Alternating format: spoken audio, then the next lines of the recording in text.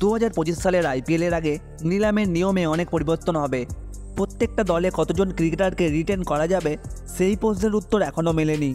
সেক্ষেত্রে অনেক ভালো ভালো প্লেয়ারকেই ছেড়ে দিতে হবে ফ্র্যাঞ্চাইজিগুলোকে একই পরিস্থিতি কি হতে চলেছে রিঙ্কু সিংয়ের সঙ্গে?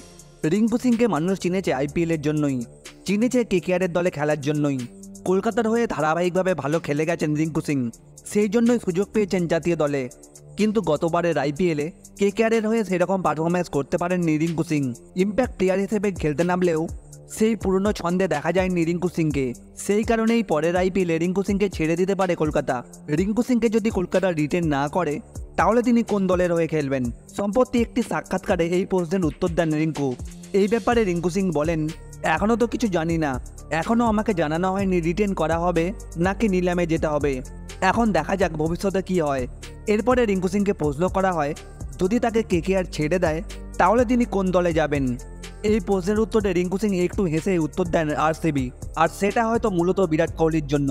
পরের আইপিএলে তোমরা রিঙ্কু সিংকে কোন দলের হয়ে দেখতে চাও? কে কে আর নাকি আরসিবি কমেন্ট করো।